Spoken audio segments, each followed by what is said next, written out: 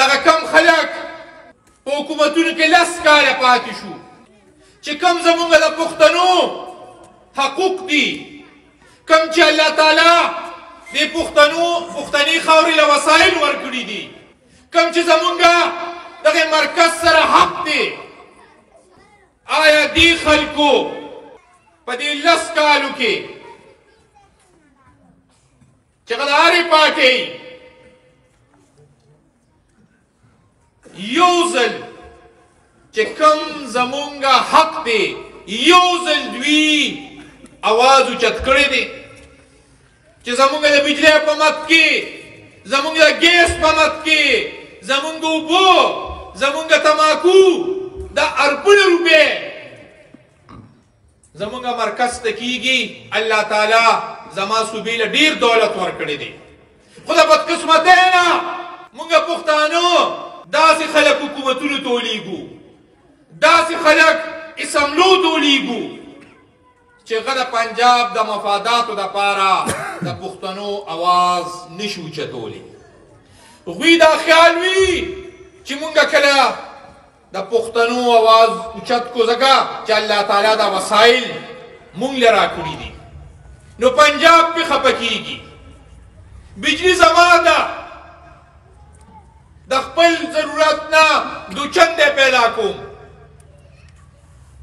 خو زما په علاقو کې اتلس اتلس شل شل ګنټې بجلی نه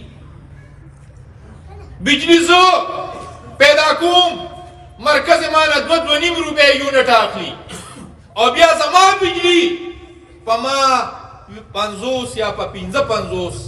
یونټ باندې خرڅي ګیس زما کرکو کوټ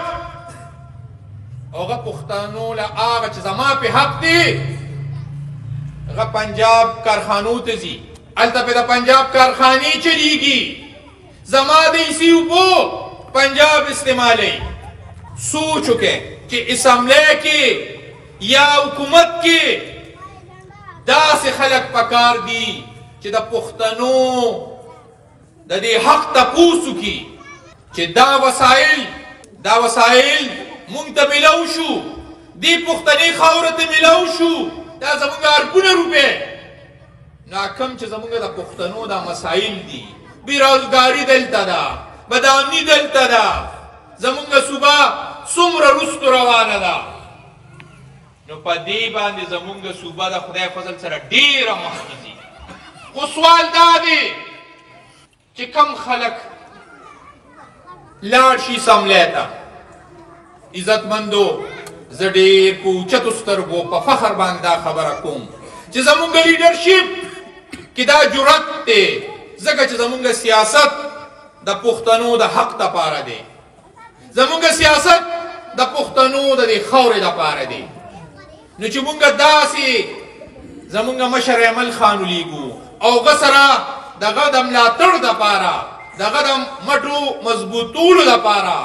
مونږ هم د قومي سملې د هم د صوبایي سملې ګڼ تعداد کې ممبران غسر او لیګو نو مونږه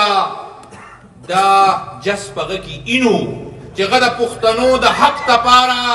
جګړه هم کولی شي اواز هم اوچتولی شي او چې بیا غه سره دا طاقت وي نو چې بیا د پښتنو حق څوک نه ورکوي دغه ګریوان ته هم لاس اچولی شي نو عزتمندو اخر دا خلک په کم خلی باندې دلته نن د دې خلکو نه ووټ غواړي لس کال حکومت سر نواله خپو پورې د دوی ارسا عهدیدار د دوی ضلع ناظم اعلی د دوی وزیر اعلی د دوی گورنر د دوی وزیر اعظم د دوی صدر د دوی فوج دوی سره مرسته د عدالت دوی سره مرسته سلور کاله او ډیره د افسوس او ډیره د شرم خبره ده چې په دې لسو کالو کې په دې لسو کالو کې څومره لوی لوی دعوې وي یو کروړ نوکرۍ وي پنځوس لاک کورونه وو قرضه به نه اخلم د وزیر اعظم هاوس نه به یونیورسټي جوړوم ډېرې نارې وي او وعدې وي د تفصیل کې نظم خلک به راځي د بهر نه او دلته به نوکرۍ کوي خو افسوس افسوس چې هغه ټولې وعدې غاسې ګپو ختو او خلک یې څه د وخت لپاره په درې چرګانو او په یو چرګ دوکه کړل چې دا درې چرګي او یو چرګوالی په دا به کاروبار کوي مخکې څومره لوی لوی لاپې وي نو عزتمندو ځکه چې د هغوی کې صلاحیت نشته د ولس د خدمت دوی کې هغه جذبه نشته چې پښتنې خاورې خدمت وکړي د غوی خو ټول وخت په دی تیر شو چې مخالف په سنگ جیل ته بوزم مخالف باندې به کیسونه سنگ جوړو داسې خلک منتخب کې داسې خلک سملو تولیږي چې غوی کې د دې پښتني خاورې د خدمت جذبه تاسو ګوره زه تفصیل کې نه ځم چې د عوامي نېشنل پارټۍ پنځه کاله کوم حکومت او د نورو پارټو تاسو د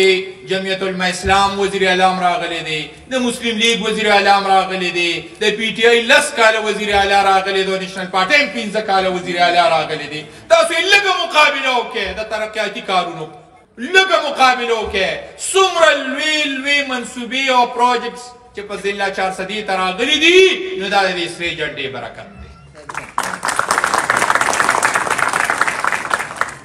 عزتمندو چې زمونږ لیډرشپ کامیاب وي غوی سره اختیار وي نوغه د ضلع چارسدي اوسیدونکي دي د ټولو نه مخکې به ضلع چارسده ترقي کوي ګور خان دلته خبره وکړه چې دلته څه خلک راغلي دي او وایي چې